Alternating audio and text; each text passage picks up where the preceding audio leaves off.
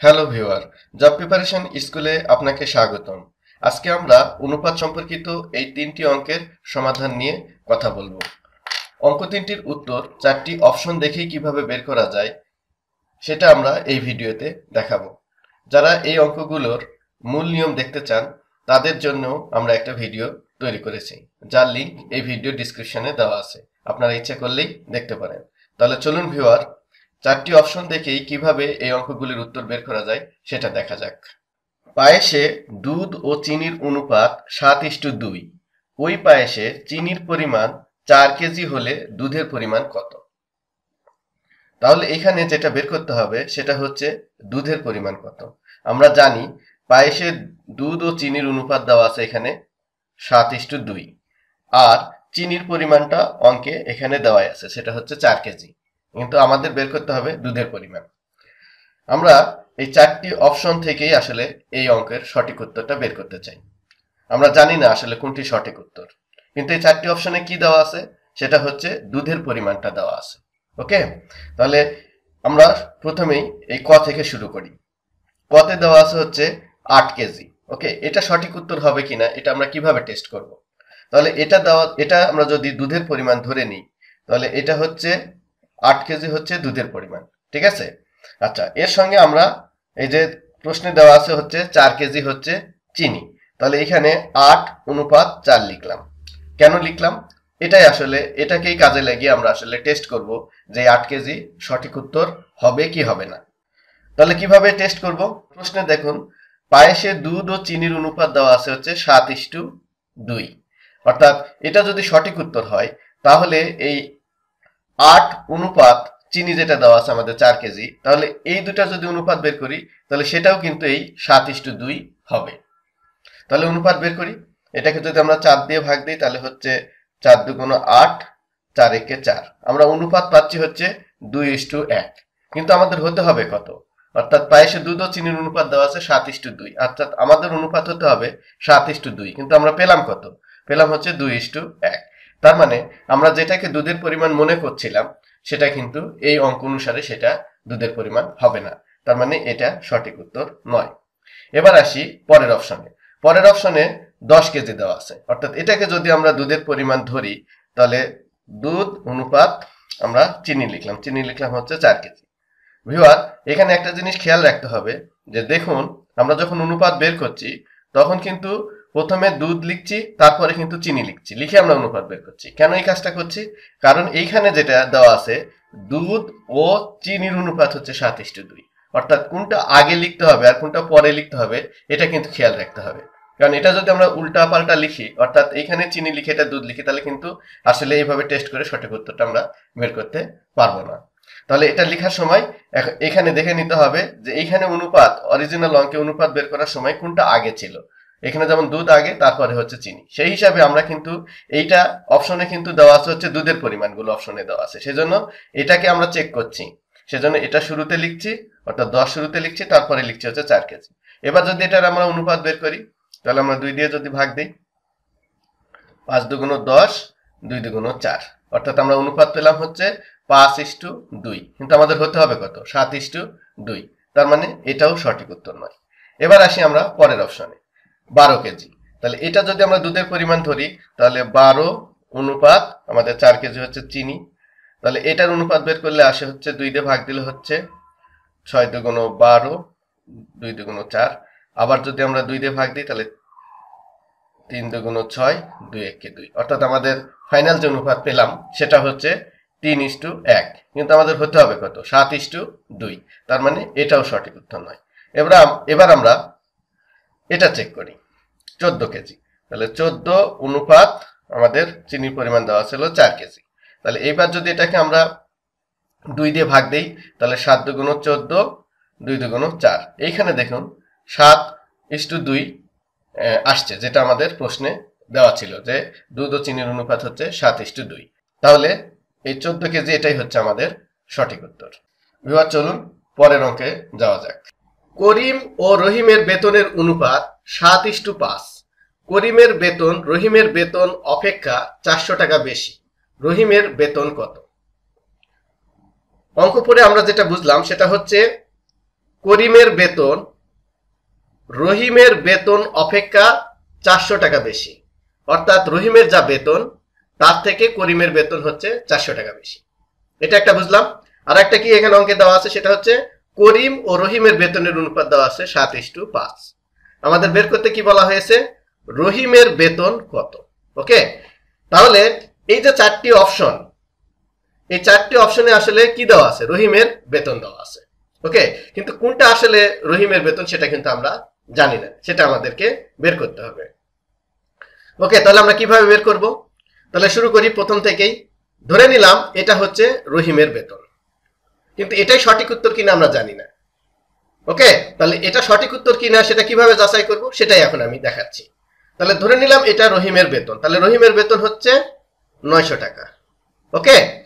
তাহলে করিমের বেতন কত হবে? যদি এটা রহিমের বেতন হয়ে থাকে, তাহলে করিমের বেতন কত হবে? তাহলে করিমের বেতন বলা হচ্ছে, করিমের বেতন, রহিমের বেতন অপেক্ষা চারশো টাকা বেশি। তার মানে করিমের বেতন হবে হচ্ছে নয়শো যোগ চারশো সমান হচ্ছে তেরোশো। ওকে? তাহলে আমরা কি পেলাম? এটাকে রহিমের বেতন ধরে আমরা কিন্তু করিমের বেতনটা বের করে ফেলেছি। ওকে, তাহলে এটা হলো রহিমের বেতন আর এটা হলো আমাদের করিমের বেতন। এবার দেখুন, প্রশ্নে বলা হচ্ছে করিম ও রহিমের বেতনের অনুপাত সাত ইস্টু পাঁচ। তাহলে এইবার তেরোশো অনুপাত নয়শো। এটা হলো করিমের আর এটা হচ্ছে রহিমের এইখানে লেখার সময় কিন্তু খেয়াল রাখতে হবে যে কোন টাকাটা কোথায় লিখব। এখানে দেখুন, করিম এবং রহিমের বেতনের অনুপাত। এইখানে কিন্তু আমি লিখেছি রহিমের বেতন, আর এইখানে লিখেছি আমি করিমের বেতন। ওকে কারণ এইখানে এইভাবেই দেওয়া আছে। এইবার দেখুন, এই দুইটা থেকে যদি আমরা অনুপাত বের করি, অর্থাৎ একশো দিয়ে ভাগ দিই, তাহলে এখানে আসলে তেরো, এইখানে আসলে নয়। তাহলে এই অনুপাত কিন্তু যেটা পেলাম, সেটা কিন্তু আমাদের এই প্রশ্নে দেওয়া অনুপাতের সাথে মিলছে না। তার মানে এটা কিন্তু সঠিক উত্তর হবে না। ঠিক আছে? এবার চলুন পরের অপশনে পরের অপশন কি? এটা হলো এগারোশো টাকা। তাহলে এগারোশো টাকা যদি, এগারোশো টাকা যদি রহিমের বেতন হয়, তাহলে করিমের বেতন হবে এর সঙ্গে চারশো যোগ। তাহলে এগারোশো যোগ চারশো সমান হচ্ছে পনেরোশো টাকা। ওকে? তাহলে এইবার রহিম এবং করিমের বেতনের অনুপাত বের করে ফেলি। ঠিক আছে? তাহলে এবার এটাকে যদি আমরা একশো দিয়ে ভাগ দিই, তাহলে আসলে পনেরো অনুপাত এগারো। অর্থাৎ এই অপশনকে কাজে লাগিয়ে যেটা রহিম এবং করিমের বেতন পেলাম, সেটা হচ্ছে এই দুটা এবং তাদের অনুপাত বের করে পেলাম এটা, যেটা আমাদের প্রশ্নে দেওয়া অনুপাতের সঙ্গে মিলছে না। তাহলে এটা সঠিক উত্তর নয়। এটাও নয় এটাও নয়। এবার আসি আমরা এক হাজার টাকা। যদি এক হাজার টাকা হয়ে থাকে রহিমের বেতন, অর্থাৎ রহিম এক হাজার, তাহলে করিম হবে হচ্ছে এক হাজার যোগ চারশো, সমান হচ্ছে চোদ্দশো।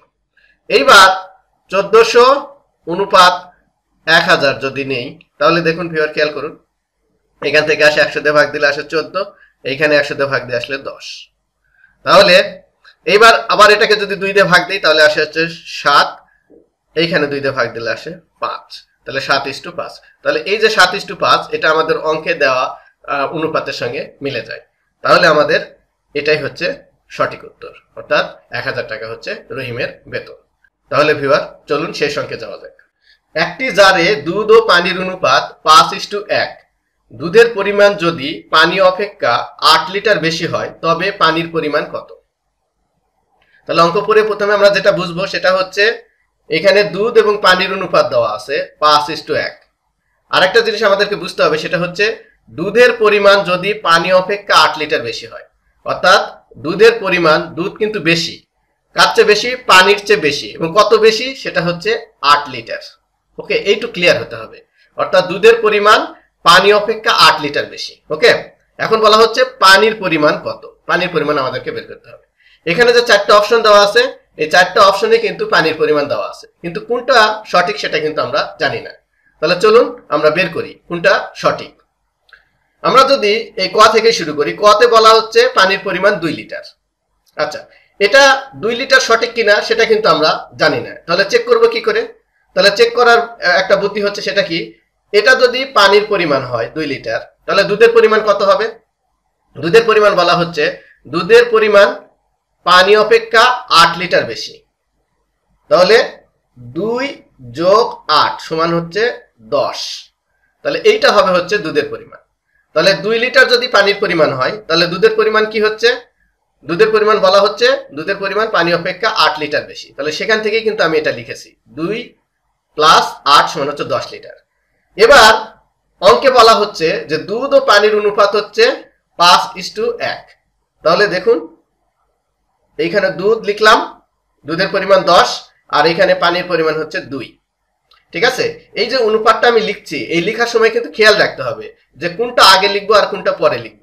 যেমন এখানে দুধ ও পানির অনুপাত, তার মানে এখানে দুধ আগে, পানি পড়ে তাহলে এইখানে যখন আমরা দুই লিটারকে দুধ, পানি ধরলাম, তারপরে দুধ বের করলাম, তাহলে এটা হচ্ছে আমাদের দুধের পরিমাণ আর এটা হচ্ছে পানির পরিমাণ। সেই হিসাবে কিন্তু আমি এখানে লিখেছি।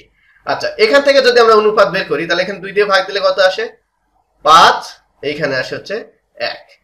ওকে তাহলে এই যে অনুপাত পেলাম পাঁচ ইস টু এক, এটা কিন্তু আমাদের প্রশ্নে দেওয়া অনুপাতের সঙ্গে মিলে গেল। তাহলে কিন্তু এই যে দুই লিটার এটাই কিন্তু আমাদের সঠিক উত্তর। ওকে এখন প্রশ্নে আসতে পারে যে আমরা আমরা এমন একটা অঙ্ক চুজ করেছি যেখানে কতেই আসলে সঠিক উত্তর আছে। যদি কতে সঠিক উত্তর না থাকতো, তাহলে কিন্তু আমাদের বাকি অপশনগুলোও চেক করতে হতো। যেমন এক্সাম্পল হিসেবে আমরা এই অপশনটা চেক করে দেখি যে এটা কেন সঠিক উত্তর হলো না। ধরুন, এটা হচ্ছে পাঁচ লিটার তাহলে পাঁচ লিটার কি? পাঁচ লিটার হচ্ছে পানির পরিমাণ। ওকে? তাহলে দুধের পরিমাণ কত হবে? পাঁচ যোগ আট। আট লিটার বেশি, তাহলে এটা হচ্ছে তেরো। এইবার এই দুটার অনুপাত বের করি, তেরো অনুপাত পাঁচ। দেখুন ভিওয়ার এখানে অনুপাত বের বের করতে গেলে এর চেয়ে ছোট বের করার কোনো বুদ্ধি নাই, কারণ এক ছাড়ার অন্য কিছু দিয়ে দুইটাকে ভাগ দেওয়া যায় না। তাহলে এই পাঁচ লিটারকে যদি আমি পানি ধরি, তাহলে আমরা দুধের পরিমাণ পেলাম তেরো লিটার, এই দুটার অনুপাত বের করে দেখলাম তেরো ইস টু পাঁচ। যেটা আসলে আমাদের প্রশ্নে দেওয়া অনুপাতের সাথে মিলছে না। তাহলে এটা কিন্তু আমাদের সঠিক উত্তর নয়। এইভাবে কিন্তু আমরা বাকি অপশনগুলো চেক করতে পারি। ওকে? তাহলে আমরা দেখলাম যে এখানে আমাদের কতেই সঠিক অপশন সঠিক অপশনটা ছিল এবং সেটা দিয়ে আসলে আমাদের অনুপাতটি এখানে মিলে গিয়েছে। মিলে গিয়েছে। তাহলে আমরা বলতে পারি যে কয় সঠিক উত্তর। তাহলে ভিউয়ার, আজকে এই পর্যন্তই। বিভিন্ন অঙ্কের সমাধান নিয়ে আমাদের চ্যানেলে আমরা অনেকগুলো ভিডিও তৈরি করেছি। আশা করি আপনারা সেগুলো দেখে আমাদের পাশেই থাকবেন।